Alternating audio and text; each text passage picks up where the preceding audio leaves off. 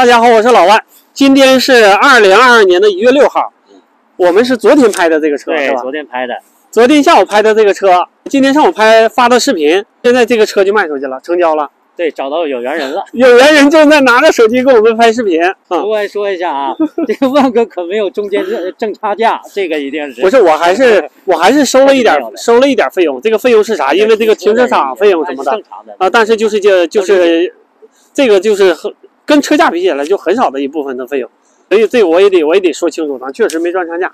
感谢。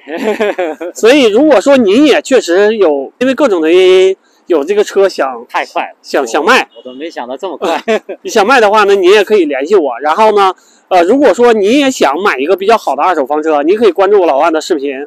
我能保证的是，第一，一般的车不好我不卖；嗯，第二呢，就是我不做中间商赚差价，我不会以很低的价格把车收过来。因为今天买这个车都是他是车主，然后拍摄的大姐是买车的，是他俩直接谈的，所以在此专门证明一下，是吧？是是是，应该应该证明一下，万哥没挣差价，我再重申一下。